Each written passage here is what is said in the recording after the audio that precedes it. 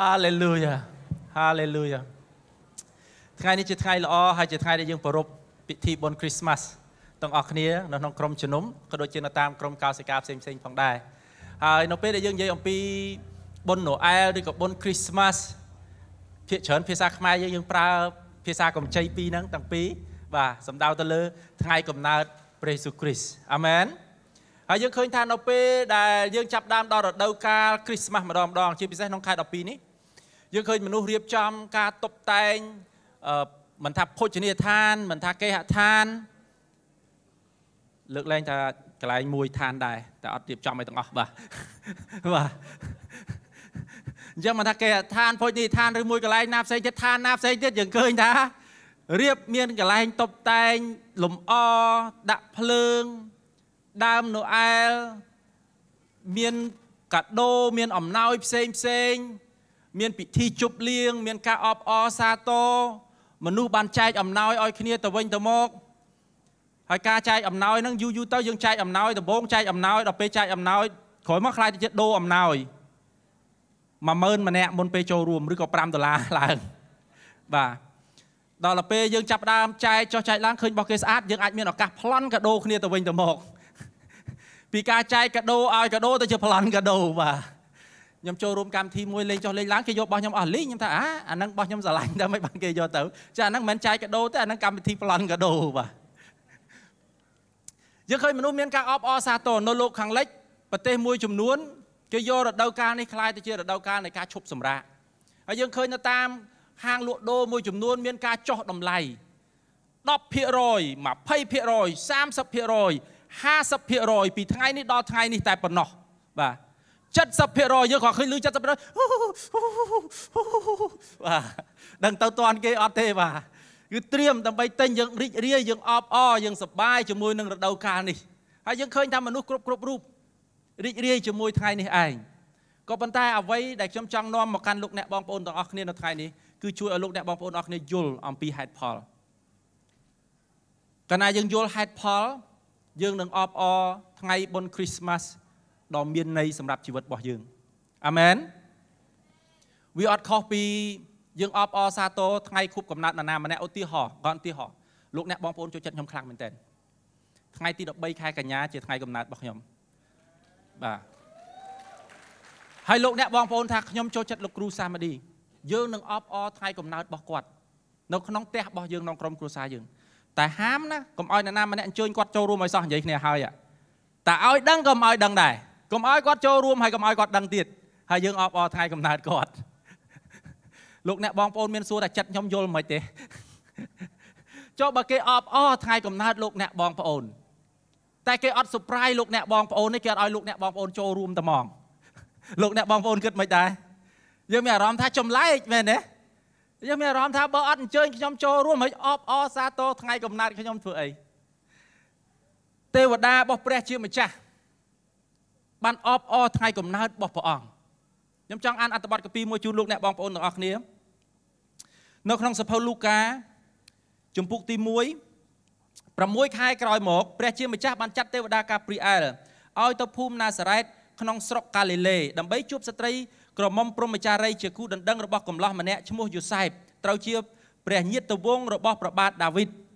ស្ត្រីក្រមុំនោះឈ្មោះនាងម៉ារី 6ខែក្រោយមក6ខែបន្ទាប់ពីអី6ខែបន្ទាប់ពីអ្នកបម្រើព្រះជាម្ចាស់ម្នាក់គាត់ចង់បានកូនគាត់រៀបការយូរហើយអត់មានកូនសោះគាត់រៀបការហើយអធិដ្ឋានសុំព្រះហើយអធិដ្ឋានសុំរហូត តាំងពីក្មេងរហូតទៅដល់វ័យចំណាស់មែនតែនហ្មងចំណាស់មែនតែននៅតែសុំព្រះអង្គថាសុំមានកូនសុំមានកូនសុំមានកូនសាប់មែនពេលមួយព្រះអង្គឆ្លើយតបមែនព្រះអង្គប្រាប់ថាអ្នកនឹងមានកូនហើយដល់ពេលព្រះអង្គឆ្លើយតប គាត់ថាគាត់នឹងមានកូនគាត់បែរជានិយាយថាព្រះអង្គឲ្យខ្ញុំមានឲ្យប្រពន្ធខ្ញុំមានកូនមិនបើប្រពន្ធខ្ញុំទី1ជាស្ត្រីអាទី2គាត់វ័យកាន់តែចាស់ហើយហ្នឹងវ័យចាស់ជាងលោកយាយសារ៉ាទៅទៀតបានន័យថា8ជាងចូល9មិនស្រួលចិត្តក្បែរ100ផងហើយថាបើវ័យដល់ដំណាក់កាលហ្នឹងហើយហើយគាត់ធ្វើម៉េចមានកូនលោកអ្នកបងប្អូនចម្លែកសុំព្រះឲ្យមានកូនដល់ទៅពេលព្រះឲ្យមានកូន ចាប់ដើមតវ៉ាមួយព្រះថាម៉េចបានធ្វើម៉េចកើតព្រះអង្គថា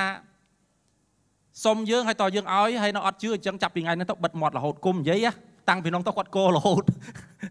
គាត់កោរហូតគាត់និយាយអត់បានទេរហូតដល់ថ្ងៃកូនគាត់កើតព្រះអង្គអត់ចង់ឲ្យពាក្យអវិជ្ជមានណាមួយចេញពីមាត់របស់គាត់កុំឲ្យពាក្យយើងហៅថាពាក្យដែលមិនសមរម្យពាក្យដែលមិនគោរពប្រណិប័តព្រះអង្គពាក្យដែលមិនជឿចេញពីមាត់របស់គាត់ពេលដែលកូនកើតគេសួរគាត់ឈ្មោះអី ឈ្មោះយ៉ូហានគាត់សរសេរ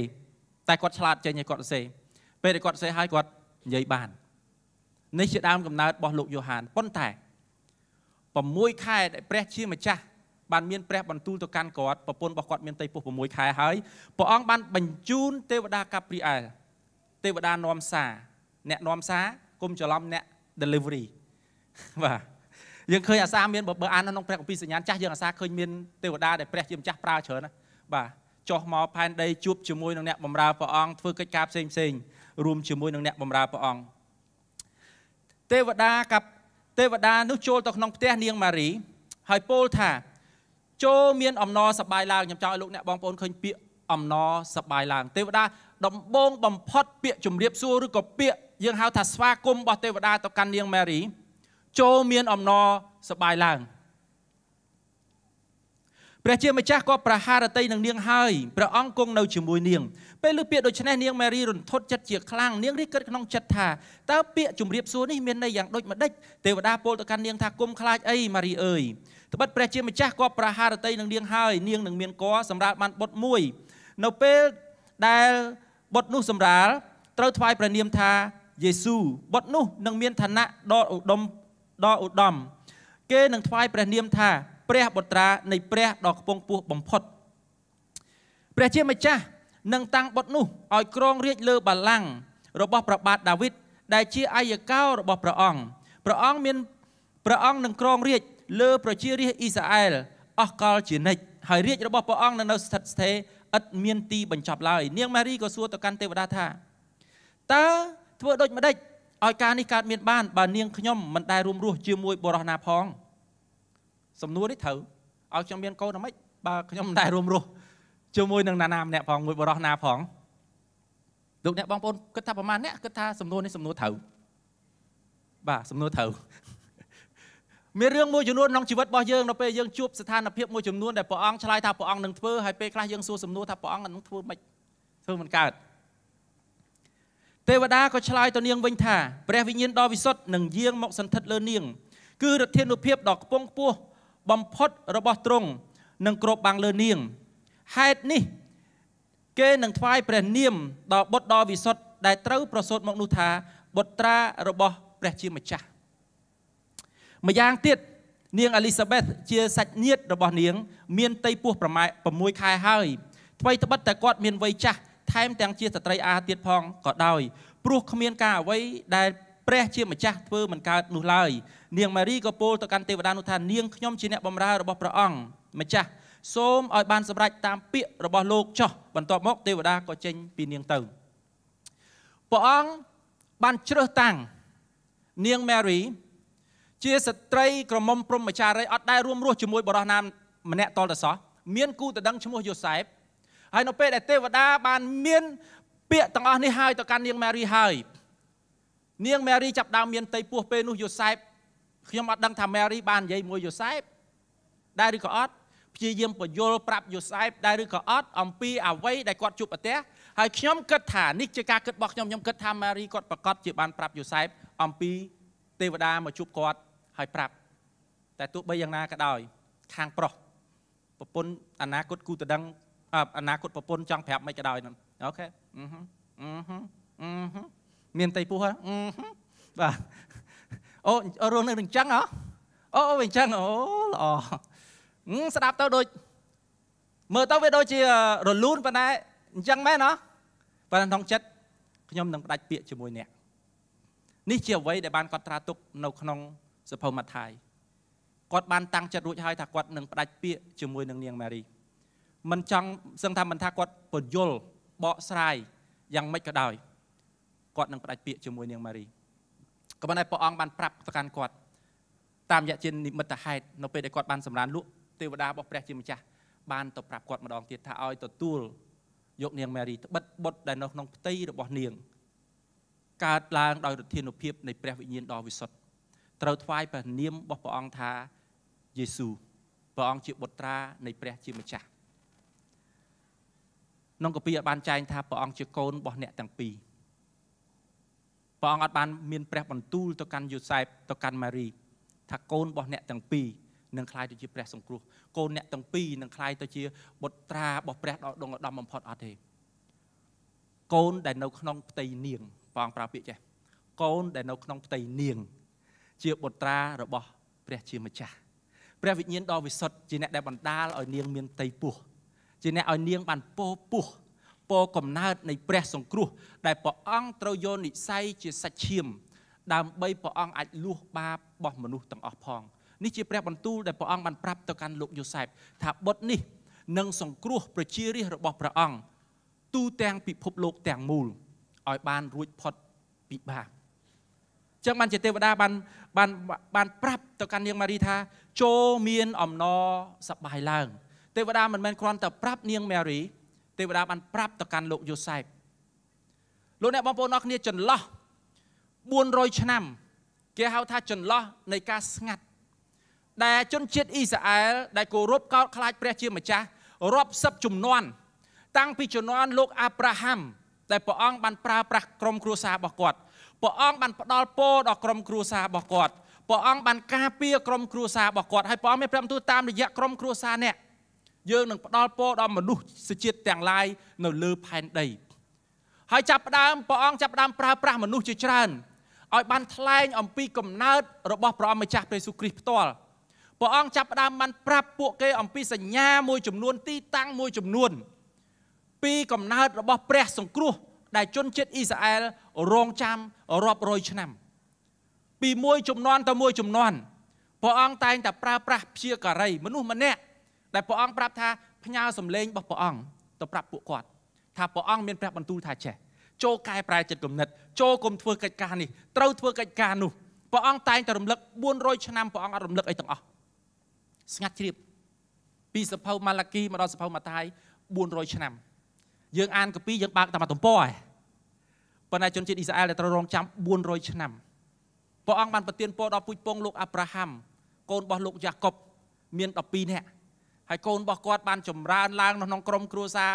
ក្រុមគ្រួសារគេមានចំនួនកើនឡើងច្រើនទៅច្រើនទៅមកតកូលមកតកូលคล้ายទៅជាមកកុលសម្ព័ន្ធលែងហៅទៅជាតកូលនេះតកូលនោះคล้ายទៅជាកុលសម្ព័ន្ធយកតែម្ដងកុលសម្ព័ន្ធរីចម្រើនឡើងរហូតបានคล้ายទៅជាប្រទេសព្រះអង្គបានដូរឈ្មោះលោកយ៉ាកុបទៅជាលោកអ៊ីស្រាអែលយើងឃើញដានកិច្ចការដែលព្រះអង្គធ្វើប្រសល់ទុកដល់សពថ្ងៃមានប្រជាជាតិមួយឈ្មោះអ៊ីស្រាអែលដែលព្រះអង្គបានប្រើប្រាស់ដើម្បីឲ្យព្រះសង្គ្រោះប្រសូត តាមរយៈខ្សែស្រឡាយនេះឯងចឹងបានព្រះអង្គបានមានព្រះបន្ទូលថាចូលមានអំណរឡើងចូលអសប្បាយឡើងអាមែនព្រះអង្គមិនមែនគ្រាន់តែប្រាប់ពួកគេប៉ុណ្ណោះ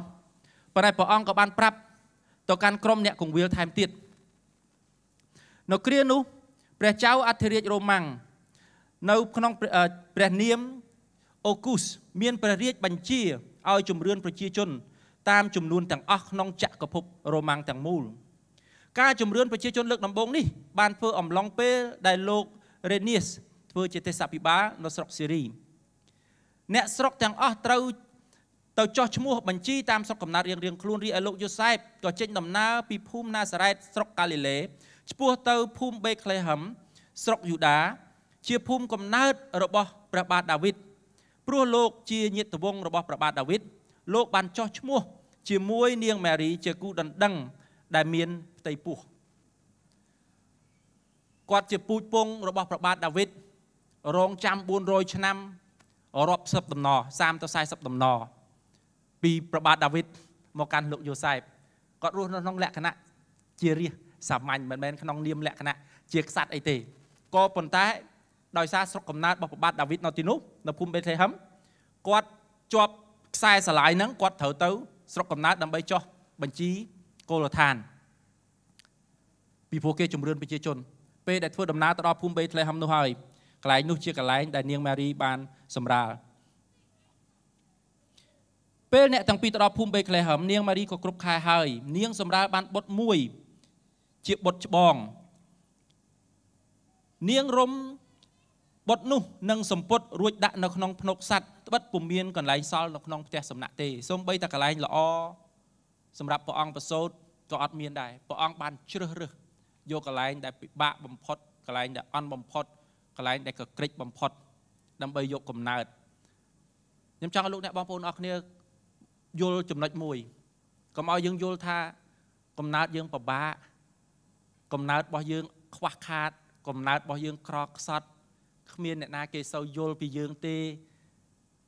តលតែយកចិត្តយើងដាក់ចិត្តគេបានគេយល់ព្រះអង្គបានយល់ពីគ្រប់ជំរឿដួងចិត្តព្រះអង្គ បានយល់ពីគ្រប់ទាំងជំរឿដួងចិត្តរបស់លោកអ្នកបងប្អូន នៅគ្រាដែលពិបាកជាទីបំផុតអាមែននៅក្នុងរដូវកាលនោះអត់មានបន្ទប់ណាដែលគេអាចជួលឲ្យបានដោយសារមនុស្សធ្វើដំណើរទៅតាមភូមិហើយទៅចោះឈ្មោះនៅក្នុងភូមិដូចគ្នាអញ្ចឹងផ្ទះសំណាក់អត់មានដល់ពេលដែលត្រូវឈឺពោះសម្រាលកន្លែងល្អអត់មានមានតែក្រោលសัตว์អញ្ចឹងសម្រាលនៅក្រោលសัตว์អានេះជាស្ថានភាព ដែលពួកគាត់បានជួបប្រទះនៅពេលនោះព្រះអង្គដែលជាព្រះដែលអាចជ្រើសរើសកន្លែងដែលល្អល្អជាងគេបំផុតនៅលើផែនដីប៉ុន្តែព្រះអង្គជ្រើសរើសកន្លែងដែលទៀបជាទីបំផុតដើម្បីប្រសូតព្រះអង្គជាព្រះដែលមានរាល់គ្រប់ទាំងឫទ្ធានុភាពទាំងអំណាចព្រះអង្គអាចធ្វើកិច្ចការអ្វីទាំងអស់ប៉ុន្តែព្រះអង្គជ្រើសរើសធ្វើកិច្ចការទាំងអស់ដើម្បីលោកអ្នកបងប្អូនហើយនឹងខ្ញុំ ព្រះអង្គក៏បហារតីដើម្បីស្ដារនៅភាពក្រខ្សត់ព្រះអង្គក៏បហារតីស្ដារនៅភាពទន់ខ្សោយព្រះអង្គក៏បហារតីនឹងស្ដារនៅភាពខ្វះខាត របស់យើងទាំងអស់គ្នាដោយព្រះអង្គជ្រើសរើសកន្លែងនោះជំនួសយើងវិញអាមែននៅក្នុងស្រុកនោះពេលយប់ពួកអ្នកកងវិលមើលវងសัตว์របស់គេនៅតាមវាលស្មៅពេលនោះទេវតារបស់ព្រះអម្ចាស់មកឈរនៅក្បែរពួកគេសេរីរុងរឿងរបស់ព្រះអង្គមកបំភ្លឺចិញ្ចែងចិញ្ចាចនៅជុំវិញគេ នាំឲ្យគេភ័យខ្លាចជាខ្លាំងទេវតាបានពោលទៅកាន់ពួកគេថាគុំខ្លាចអ្វីឡើយខ្ញុំនាំដំណឹងល្អមួយមកប្រាប់អ្នករាល់គ្នាដំណឹងល្អនេះនឹងធ្វើឲ្យប្រជារាស្ត្រទាំងមូលមានអំណរយ៉ាងលើសលប់ទេវតាបានប្រាប់ពួកអ្នកកងវិលដូចព្រះអង្គបានប្រាប់ទៅកាន់នាងម៉ារីថាព្រះអង្គនាំអំណរមកកាន់ពិភពលោកកំណើតរបស់ព្រះអង្គជាកំណើតដែលផ្ដល់នូវសេចក្តីសង្ឃឹម ជាជាសេចក្តីមួយដែលដែលព្រះអង្គក៏ប្រហាតីប្រទានដល់មនុស្សគឺសេចក្តីអំណរដែលចេញមកពីព្រះអង្គតកលែងដែលខ្វះខាតកលែងដែលมันអាចបំពេញបានកលែងដែលអត់គ្រប់ក្នុងព្រះគម្ពីរបានចែងថាព្រះអង្គបានយាងមកដើម្បីឲ្យយើងបានមានជីវិតហើយជាជីវិតពេញបរិបូរណ៍លោកប៉ូលគាត់អាសាប្រើពាក្យមួយដែលដែលគាត់តែងតែប្រើពាក្យថាព្រះអង្គក៏ប្រហារតីឲ្យយើងបានគ្រប់លក្ខយ៉ាងណាឬព្រះអង្គក៏ប្រហារតីឲ្យយើងបានគ្រប់លក្ខពេលខ្លះភាសាខ្មែរយើងនៅពេលយើងឮពាក្យគ្រប់លក្ខ ឬបបោហូហៀយើងឮពាក្យគ្រប់លក្ខយើងថាគ្រប់លក្ខណោះគ្រប់10ហ្មង10គុតបាទតាមពិតពាក្យគ្រប់លក្ខគឺសំដៅទៅលើគ្រប់លក្ខណៈលោកអ្នកបងប្អូនប្រមាណអ្នកចង់ជិះម៉ូតូដែលមានកង់តែមួយបើយើងជិះម៉ូតូមានកង់តែមួយយើងត្រូវត្រៀមលុយដើម្បីដាក់ថ្មិញដែរព្រោះម៉ូតូនឹងវាអត់គ្រប់លក្ខពេលលោកអ្នកបងប្អូនជិះម៉ូតូអត់គ្រប់លក្ខលោកអ្នកបងប្អូននឹងជួបឧបសគ្គ លោកអ្នកបងប្អូនប្រមាណអ្នកចង់ជិះឡានដែលមានកង់4ប្រមាណអ្នកចង់ចុះបើសិនជាឡាននឹងខូចកង់មួយទោះបីជាផ្លូវល្អយ៉ាងណាក៏ដោយលោកអ្នកបងប្អូននឹងជិះទៅបងប្អូននឹងនឹងមានអារម្មណ៍យ៉ាងបាទវាអាលាក់រហូតហើយតាមពិតផ្លូវនឹងអត់អាលាក់ទេប៉ុន្តែឡាននឹងវាអត់គ្រប់លក្ខវាអត់គ្រប់លក្ខណៈ ព្រះអង្គមានព្រះបន្ទូលថាព្រះអង្គបានយាងមកដើម្បីឲ្យជីវិតរបស់យើងបានគ្រប់លក្ខណៈព្រះអង្គក៏បានតែប្រទានឲ្យយើងនៅសេចក្តីសង្ឃឹមដែលមនុស្សអាចបំពេញបានព្រះអង្គក៏បានតែប្រទានឲ្យយើងនៅអំណរចន្លោះប្រហោងនៃជីវិតរបស់យើងតម្រូវការនៅក្នុងជីវិតរបស់យើងដែលពេលខ្លះសូម្បីតែយើងថ្លែងចេញទៅខាងក្រៅពិបាកឲ្យមានអ្នកដែលយល់ចិត្តយើងព្រះអង្គថាអំណរដល់លោកអំណរដល់មនុស្សលោកហើយ មនុស្សលោកនឹងទទួលអំណរយ៉ាងលើសលប់ដោយសារកំណើតមួយនេះអាមែនយប់នេះនៅក្នុងភូមិបេតលេហឹមជាភូមិកំណើតរបស់ព្រះបាទដាវីតព្រះសង្គ្រោះរបស់អ្នករាល់គ្នាបានប្រសូតហើយគឺព្រះគ្រីស្ទជាអម្ចាស់នេះជាសញ្ញាសម្គាល់ដល់អ្នករាល់គ្នាឲ្យដឹងថានៅពេលអ្នករាល់គ្នាឃើញទារកមួយទៅនឹងប្រសូតរុំដោយសម្ពុតផ្ដេកនៅក្នុងស្នុកស្នុកសัตว์រំពេចនោះទេវតា ច្រើនកុះកចុះពីស្ថានបរមសុខមក រួចរួមជាមួយទេវតានោះនាំគ្នាច្រៀងសរសើរដំកើងព្រះជាម្ចាស់ថាសូមសរសើរដំកើងព្រះដ៏រុងរឿងរបស់ព្រះជាម្ចាស់នៅស្ថានដ៏ខ្ពស់បំផុត ហើយសូមឲ្យមនុស្សលោកដ៏ជាទីស្រឡាញ់របស់ព្រះអង្គបានប្រកបដោយសេចក្តីសុខសាន្តសូមឲ្យសេចក្តីរុងរឿងរបស់ព្រះអង្គម្ចាស់ដ៏ខ្ពង់ខ្ពស់បំផុតផ្ដល់ឲ្យមនុស្សបានមានសេចក្តីសុខសាន្ត ដែលមកពីព្រះអង្គពាក្យសេចក្តីសុខសាន្តកន្លែងនេះគឺសំដៅទៅលើពាក្យថា shalom សេចក្តីសុខសាន្តគ្រប់បែបយ៉ាងសុខសាន្តខាងផ្នែកជីវភាពសុខសាន្តផ្នែកសុខភាពសុខសុខសាន្តខាងផ្នែកសុខុមាលភាពខាងផ្នែកការគិតរបស់យើងអារម្មណ៍របស់យើងឆន្ទៈរបស់យើងគ្រប់បែបយ៉ាងទាំងអស់ទេវតាបានច្រៀងបទនេះដើម្បីសរសើរដំណើរព្រះជាម្ចាស់ហេតុអីបានជាគេប្រាប់ថាអំណរហេតុអីបានជាបានបានទេវតារបស់ព្រះកំណត់ ពាក្យមួយចំនួនយកមកប្រើយ៉ាងជាក់លាក់ពាក្យអំណរពាក្យសេចក្តីសុខសាន្តបានទទួលការសង្គ្រោះហេតុអីបានជាជនជាតិអ៊ីស្រាអែលរំភើបម្លេះនៅពេលដែលគេឮពីថាព្រះសង្គ្រោះបានប្រសូតហើយលោកអ្នកបងប្អូនអរគ្នាត្រូវយល់ពីមូលហេតុដែលព្រះសង្គ្រោះយាងមកព្រះអង្គយាងមក ពីព្រោះមនុស្សបានបរាជ័យមនុស្សបានដួលរលំ មនុស្សបានបានប្រព្រឹត្តអំពើបាបទាស់ជាមួយនឹងព្រះជាម្ចាស់មនុស្សបានជាប់បាបតាំងពីដើមកំណើតមកម្លេះ ព្រះអង្គបានបង្កើតមនុស្សដំបូងពីរអ្នកដំបូងមកឲ្យធ្វើជាតំណាងរបស់ព្រះអង្គឲ្យមានលក្ខណៈដូចព្រះអង្គដើម្បីធ្វើជាតំណាងរបស់ព្រះអង្គបង្កើតកូនចៅរស់នៅលើផែនដីពាសពេញផែនដីទាំងមូលក្នុងព្រះគម្ពីរបានចែងថាអត់មានសេចក្តីស្លាប់នៅលើផែនដីទេពេលព្រះជាម្ចាស់បង្កើតមកលើកលែងតែគ្រាមួយដែលព្រះអង្គបានប្រាប់ទៅកាន់មនុស្សព្រះអង្គថាផ្លែឈើទាំងប្រមាណនៅក្នុងសួននេះអ្នកអាចបរិភោគបានលើកលែង ដើមដែលនាំឲ្យស្គាល់ល្អស្គាល់អាក្រក់ជាដើមតំណាងឲ្យទុកចិត្តខ្លួនឯងតាំងខ្លួនឯងជាព្រះហើយលែងត្រូវការព្រះអង្គព្រះអង្គថាដរាបណាអ្នករកគ្នាធ្វើយ៉ាងដូចនេះដោយបរិភោគផ្លែឈើនឹងអ្នកមុខជាស្លាប់ជាពំខានពីព្រោះអ្នកអត់អាចបែកចេញពីយើងបានទេអ្នកកើតចេញពីយើងអ្នកនឹងត្រូវការយើងប៉ុន្តែដរាបណាអ្នកបំពេញអ្នកនឹងស្លាប់ជាពំខានហើយក្នុងព្រះគម្ពីរបានចែងស្លាប់ទី1គឺការដែលយើងបែកចេញពីព្រះជាម្ចាស់ហើយរូបកាយរបស់យើងនឹងត្រូវស្លាប់ ស្លាប់ទី2ក្នុងព្រះគម្ពីរបានចែងថាស្លាប់ត្រូវបានបោះបង់ចូលទៅក្នុងភ្លើងបឹងភ្លើងឆេះអស់កលជានិច្ចជាកន្លែងដែលព្រះអង្គបានត្រៀមទុកដើម្បីកាត់ទោសមាសាតាំងអស់កលជានិច្ចបែកចេញពីព្រះជាម្ចាស់ទៅកន្លែងនោះអស់កលជានិច្ចប៉ុន្តែមាបានចូលមកលបួងមនុស្សដំបងឲ្យបែកចេញពីព្រះជាម្ចាស់កន្លែងដែលព្រះអង្គហាម ហើយមាបានលបួងមនុស្សឲ្យចេញពីព្រះជាម្ចាស់ ព្រះអង្គបាននិយាយទៅកាន់មាយ៉ាងដូចនេះយើងនឹងធ្វើឲ្យឯងហើយនឹងស្ត្រីចាំមាបានប្រើប្រាស់ស្ត្រី ដើម្បីលបួងស្ត្រីឲ្យងាកចេញពីអ្វីដែលព្រះអង្គហាម5បុរសដែលនៅក្បែរនោះក៏មិនខាត់ប្រពន្ធដែរប៉ុន្តែមាលបួងស្ត្រីមុនព្រះអង្គបាននិយាយថាចេះយើងនឹងឲ្យឯងយើងនឹងធ្វើឲ្យឯងនិងស្ត្រី ព្រមទាំងពូជឯងនិងពូជស្ត្រីសូមសូមលោកអ្នកបងប្អូនកត់សម្គាល់កន្លែងនេះពូជឯងហើយនិងពូជស្ត្រីព្រះអង្គអត់បានមានព្រះបន្ទូលទៅកាន់មាសតាំងថាយើងនឹងឲ្យពូជឯងហើយពូជរបស់អ្នកទាំងពីរព្រះអង្គថាឲ្យពូជឯងហើយពូជស្ត្រីអត់មានអ្នកទាំងពីរអត់មានអាដាមចូលក្នុងនឹងលោកឡំទេពូជរបស់ឯងហើយនឹងពូជរបស់ស្ត្រី មានន័យថាបរិវាររបស់ឯងហើយរួមទាំងឯងនឹងខ្លាយជាសត្រូវរបស់ ពូជរបស់ស្ត្រីរបស់កូនរបស់ស្ត្រីคล้ายទៅជាសត្រូវនឹងគ្នាពូជឯងពូជនាងនឹងជន់ក្បាលរបស់ឯងហើយពូជឯងនឹងចឹកកែងជើងរបស់នាងព្រះអង្គថាអ្វីដែលឯងអាចធ្វើបានគឺគ្រាន់តែចឹកហើយធ្វើឲ្យឈឺបន្តិចតួចប៉ុណ្ណោះតែកូនរបស់នាងនឹងជន់ក្បាលរបស់ឯងកូនរបស់នាងនឹងបំបែកក្បាលរបស់ឯងកូនរបស់នាងនឹងបំបែកអំណាចទាំងប៉ុន្មានដែលឯងលួចចេញពីមនុស្សដែលឯងលួចចេញពីនាងទាំងប៉ុន្មាន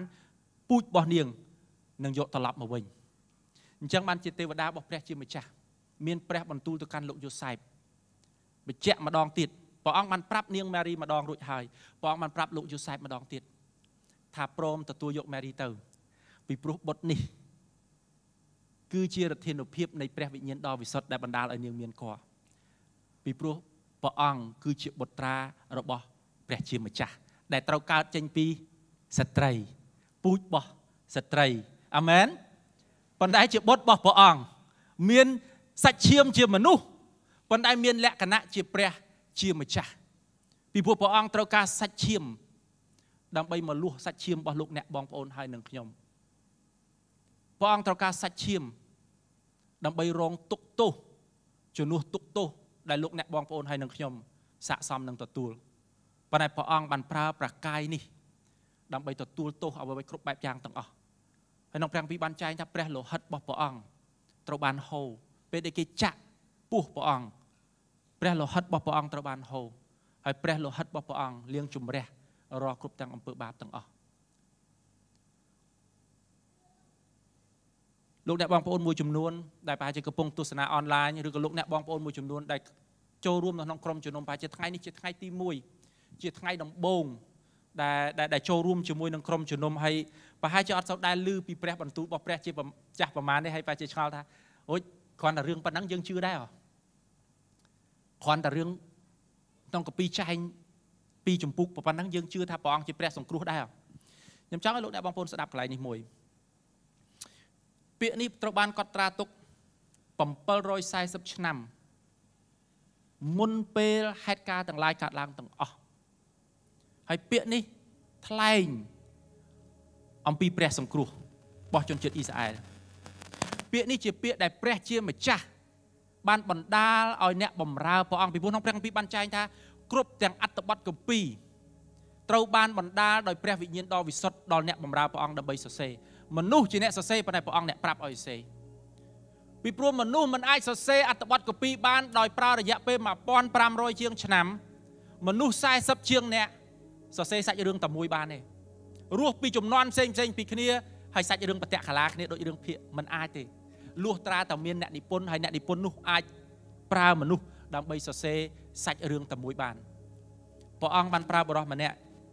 ឈ្មោះអេសាយព្រះអង្គប្រាប់ថាហេតុនេះព្រះជាម្ចាស់ផ្ទាល់នឹងប្រទានទីសម្គាល់មួយដល់អ្នករាល់គ្នាមើលស្ត្រីព្រហ្មចារីនឹងមានផ្ទៃពោះនាលនឹងសម្រាលបានបុត្រាមួយ ហើយថ្វាយព្រះនាមថាអេម៉ានញូអែល ពាក្យអេម៉ានញូអែលមានន័យថា ព្រះគង់នៅជាមួយយើង ព្រះនៅក្នុងចំណោមយើង ព្រះនៅកណ្ដាលចំណោមពួកយើង នេះជាពាក្យអេម៉ានញូអែលជនជាតិអ៊ីស្រាអែល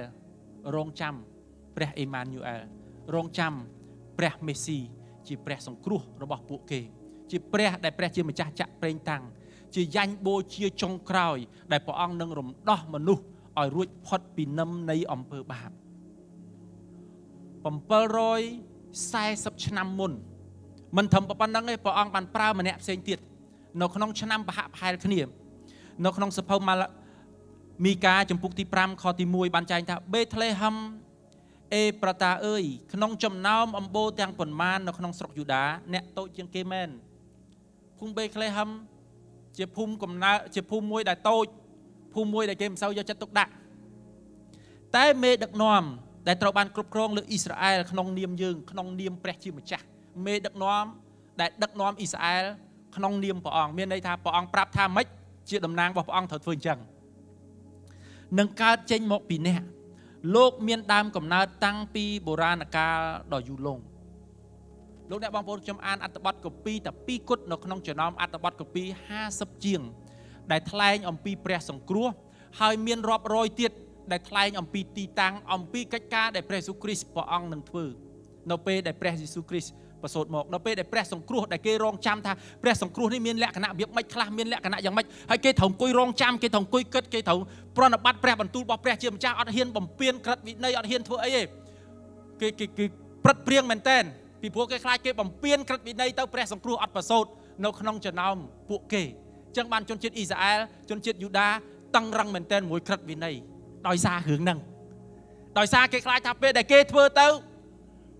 ព្រះអង្គបោះបង់គេចោលព្រះសង្គ្រោះរបស់ពួកគេលែងកើតមកដើម្បីសង្គ្រោះពួកគេចឹងបានជាក្រិតវិន័យមួយមួយគឺតឹងរឹងមែនតើលោកអ្នកបងប្អូនដែលសិក្សាក្នុងភពកិច្ចការឃើញហើយពីចំណុចមួយទៅចំណុចមួយពីរឿងមួយទៅរឿងមួយ មានភាពតឹងរឹងមែនតើហេតុអីពីព្រោះគេឃើញអំពីដាន ដែលអ្វីដែលព្រះសង្គ្រោះព្រះអង្គនឹងធ្វើឬលក្ខណៈយ៉ាងម៉េចខ្លះដែលនឹងកើតមានឡើង នៅក្នុងព្រះជន្មរបស់ព្រះអង្គគេតាមមើលគេពិចារណារឿងពីរនេះកើតឡើងដូចអ្វីដែលបានកើតឡើងព្រះអង្គប្រសូតនៅក្នុងភូមិបេតលេហឹមព្រះអង្គបានបញ្ជូនទេវតារបស់ព្រះអង្គដើម្បីប្រាប់អំពីហេតុការណ៍ដែលត្រូវកើតមានឡើង នៅក្នុងប្រជជនរបស់ព្រះអង្គពេលដែលព្រះអង្គមានប្រជញ្ញពេញវ័យឡើងព្រះអង្គចាប់ដើមធ្វើពន្ធកិច្ចមានអីគេខ្លះសូម្បីតែ ការសុគតរបស់ព្រះអង្គក៏ត្រូវបានថ្លែងទុកមុនរាប់រយរាប់ពាន់ឆ្នាំមុនដែរលោកអ្នកបងប្អូនបើកិច្ចការដែលព្រះជាម្ចាស់ព្រះអង្គប្រាប់យើង700ឆ្នាំមុនហើយកើតឡើងអត់មានខុសបាត់សំបីតែមួយចំណុចតើព្រះបន្ទូលព្រះអង្គគួរឲ្យជឿហើយគួរឲ្យទុកចិត្តបានដែរឬក៏អត់បើទុកចិត្តអត់បានទៀតខ្ញុំអត់ដឹងនិយាយថាម៉េចទៀតទេមានគ្រាមួយ មានអ្នកមានម្នាក់ គាត់អត់គោរពកោតខ្លាចព្រះជាម្ចាស់ទេហើយគាត់បានស្លាប់ប៉ុន្តែមានអ្នកក្រម្នាក់គាត់គោរពកោតខ្លាចព្រះជាម្ចាស់ហើយគាត់ស្លាប់ទាំងពីរអ្នកស្លាប់ក្នុងព្រះគម្ពីរបានកត់ត្រាពីរឿងនេះគាត់ស្លាប់គាត់ទៅកន្លែងស្ថានឃុំបលឹងអ្នកមាននិយាយមកកាន់ឡាសាគាត់ថាឡាសាសុំសុំគាត់និយាយកាន់លោកអាប់រ៉ាហាំថាសុំឲ្យបញ្ជូនឡាសាត្រឡប់ទៅផែនដីវិញហើយទៅប្រាប់បងប្អូនខ្ញុំដែលនៅរស់ប្រាប់ថាបឹងភ្លើងមានមែនខ្ញុំជាប់នៅឋានឃុំបលឹងមិនទាន់បានទៅដល់អាកន្លែងមែនតែនផង ខ្ញុំវេទនាណាស់ខ្ញុំអត់ចង់ឲ្យបងប្អូនខ្ញុំមកកន្លែងហ្នឹងទេលោកអាប់រ៉ាហាំឆ្លើយថាមកដល់កន្លែងនេះហើយយើងអត់អាចទៅវិញបានទេនៅលើផែនដីបងប្អូនរបស់កូនគេមានកពីវិន័យរបស់លោកម៉ូសេឬគេមានព្រះបន្ទូលព្រះជាម្ចាស់អានហើយហើយបើគេអានហើយគេមិនជឿទៀតអានឹងរឿងរបស់គេនេះជាពាក្យរបស់លោកអាប់រ៉ាហាំឆ្លើយទៅកាន់អ្នកមានម្នាក់នេះដែលចុងក្រោយអ្វីៗទាំងអស់ដែលគាត់មានអត់អាចសង្គ្រោះគាត់បាន ពីព្រោះការសង្គ្រោះមិនមែនកើតឡើងដោយអំពើរបស់យើងប៉ុន្តែការសង្គ្រោះកើតឡើងដោយព្រះគុណរបស់ព្រះជាម្ចាស់ដោយប្រហារតីមេត្តាករុណារបស់ព្រះជាម្ចាស់អាមែនលោកអ្នកបងប្អូនប្រហែលជានិយាយថាអានឹងរឿងអតីតកាលខ្ញុំចង់ប្រាប់រឿងមួយទៀតទៅកាន់លោកអ្នកបងប្អូនជារឿងដែលព្រះសុគ្រីស្ទផ្ទាល់ព្រះអង្គមានព្រះបន្ទូល2000ឆ្នាំមុនព្រះអង្គមានព្រះបន្ទូលថាព្រះអង្គនឹងយាងត្រឡប់មកវិញម្ដងទៀត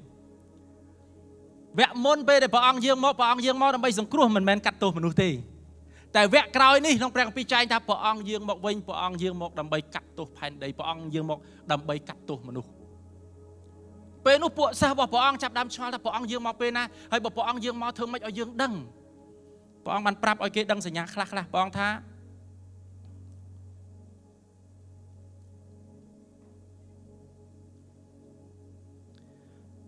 នឹងមានទីសម្គាល់ឲ្យយើងដឹងថាដល់ពេលដែលព្រះអង្គយាងមកនឹងដល់អវសានកាលនៃពិភពលោក នឹងមានមនុស្សជាច្រើនយកឈ្មោះខ្ញុំទៅប្រើដោយពោលថាខ្ញុំនេះហើយជាព្រះគ្រីស្ទព្រះអង្គឲ្យឲ្យសញ្ញាមួយទៅកាន់ពួកសិស្សថានៅគ្រាចិត្តចុងក្រោយបំផុតថ្ងៃដែលព្រះអង្គចិត្តយាងមកកាត់ទោសផែនដីនឹងមានមនុស្សបន្លំថាគេគេនឹងឲ្យព្រះគ្រីស្ទអូព្រះគ្រីស្ទយាងមកហើយហើយព្រះអង្គយាងមកព្រះអង្គគង់នៅកន្លែងនោះខ្ញុំចង់ជម្រាបទៅកាន់លោកអ្នកបងប្អូនទាំងអស់គ្នាថាបើឮពាក្យទាំងអស់នេះប្រយ័ត្នឲ្យមែនតែនព្រះអង្គប្រាប់យើងមុន2000ឆ្នាំមុនហើយសពថ្ងៃនេះមានមនុស្សប្រកាសខ្លួនឯងថាខ្លួនឯងក៏ជាព្រះគ្រីស្ទដែរ ហើយយាងមកហើយប៉ុន្តែនៅកន្លែងផ្សេងសពថ្ងៃនេះក៏មានព្រះអង្គប្រាប់ទៀតគេនឹងនាំមនុស្សជាច្រើនឲ្យវង្វេងអ្នករាល់គ្នានឹងឮគេនិយាយអំពីសង្គ្រាមហើយឮដំណឹងថានឹងមានសង្គ្រាមផ្ទុះឡើងហើយលោកអ្នកបងប្អូនប្រហែលអ្នកធ្លាប់ឮដំណឹងអំពីសង្គ្រាមបាទមើលព័ត៌មាន Facebook YouTube លោកអ្នកបងប្អូនមួយចំនួនថាអត់តន់ផ្ទុះផងអានឹងអាសង្គ្រាមថ្ងៃអនាគតវាអត់តន់ផ្ទុះហើយយើងវាផ្ទុះមិនផ្ទុះយើងអត់ដឹងទេ ប៉ុន្តែលោកអ្នកបងប្អូនដែលអានប្រវត្តិសាស្ត្រចាប់តាមពីសង្គ្រាមលោកលើកទី2ថយក្រោយទៅវិញឯងមានប្រមាណសង្គ្រាមដែលបានផ្ទុះឡើងហើយទាំងសង្គ្រាមឆ្លងប្រទេសទាំងសង្គ្រាមស៊ីវិលតែគុំជ្រួលយោបល់ឡើយត្បិតហេតុការណ៍ទាំងនេះត្រូវតែកើតមានឡើងតែពុំទាន់ដល់អវសាននៃពិភពលោកនៅឡើយទេប្រជាជាតិមួយនឹងនឹងធ្វើសង្គ្រាមទល់នឹងប្រជាជាតិមួយទៀតប្រទេសមួយនឹងទល់នឹងប្រទេសមួយទៀតនៅតាមតំបន់ផ្សេងផ្សេងនឹងមានការកើតគ្រោះទុរភិក្ស និងរញ្ជួយផែនដីលោកអ្នកបងប្អូនដែលឮរឿងទាំងអស់ហ្នឹងហ៎ព្រះយេស៊ូវគ្រីស្ទព្រះអង្គថ្លែងពាក្យទាំងអស់នេះ2000ឆ្នាំមុន2000ឆ្នាំមុនព្រះអង្គថ្លែងប៉ុន្តែហេតុការណ៍ទាំងនេះប្រៀបបានដូចជានឹងដូចជាការឈឺចាប់ដំបងរបស់ស្ត្រី ដែលហៀបនឹងសម្រាលកូនលោកអ្នកបងប្អូនស្ត្រីស្ត្រីដែលមានកូនឬបរោះបរោះដែលមានប្រពន្ធហើយនៅក្បែរប្រពន្ធពេលប្រពន្ធឈឺពោះយល់ពាក្យនេះហើយថាដំបងឈឺរយៈពេលប្រហែលម៉ោងម្ដង ផុតពីនឹងមកឈឺរយៈពេលប្រហែលនាទីប្រហែលនាទីម្ដងឈឺខ្លាំងមែនទែនបានដល់ពេលបងថាពេលដែលលឺហេតុការណ៍ទាំងអស់នេះអានឹងគ្រាន់ទីចាប់ដើមទេមិនទាន់ដល់ពេលព្រះអង្គយើងមកឡើយទេគេនឹងបញ្ជូនអ្នករាល់គ្នាទៅធ្វើទុកទោសព្រមទាំងឲ្យគេសម្លាប់អ្នករាល់គ្នាថែមទៀតផងជាតិសាសទាំងអស់នឹងស្អប់អ្នករាល់គ្នាព្រោះតែនាមខ្ញុំព្រះអង្គប្រាប់ពួកសិស្សមុនថា គេនឹងបៀតបៀនអ្នកគេនឹងស្អប់អ្នក ហើយអ្នកខ្លះក្នុងចំណោមអ្នកត្រូវគេយកទៅសម្លាប់ទៀតដោយសារតែជឿលើខ្ញុំឯងនៅពេលនោះនឹងមានមនុស្សជាច្រើនបែកចិត្តចេញឃ្លាតចេញពីជំនឿអញ្ចឹងនឹងមានអ្នកជឿព្រះអង្គហើយហើយបែកចិត្តចេញពីជំនឿទៀតលោកអ្នកបងប្អូនអាចឃើញសញ្ញាទាំងអស់នេះណាក្បត់គ្នាទៅវិញទៅមកនិងស្អប់គ្នាផងព្យាការីខ្លែងខ្លាយជាច្រើននឹងមកដល់ហើយបញ្ឆោតមនុស្សឲ្យវង្វេងនឹងមានមនុស្សនឹងបញ្ឆោតលោកអ្នកបងប្អូនឲ្យវង្វេង ចេញពីសេចក្តីបង្រៀនពីព្រះគម្ពីរពីព្រោះគេតាំងខ្លួនគេថាគេជាព្យាការីអំពើទុច្ចរិតនឹងរីកចម្រើនឡើងជាខ្លាំងបណ្ដាលឲ្យសេចក្តីស្រឡាញ់របស់មនុស្សមួយចំនួនធំអន់ថយសេចក្តីស្រឡាញ់មនុស្សមួយចំនួនធំត្រូវបានអន់ថយសេចក្តីស្រឡាញ់ទំនុកចិត្តចំពោះគ្នាឯងទៅវិញទៅមកត្រូវបានអន់ថយប៉ុន្តែអ្នកណាស៊ូទ្រាំដល់ទីបញ្ចប់ព្រះជាម្ចាស់នឹងសង្គ្រោះអ្នកនោះ សូមស្ដាប់កន្លែងខទី14នេះជាចំណុចសំខាន់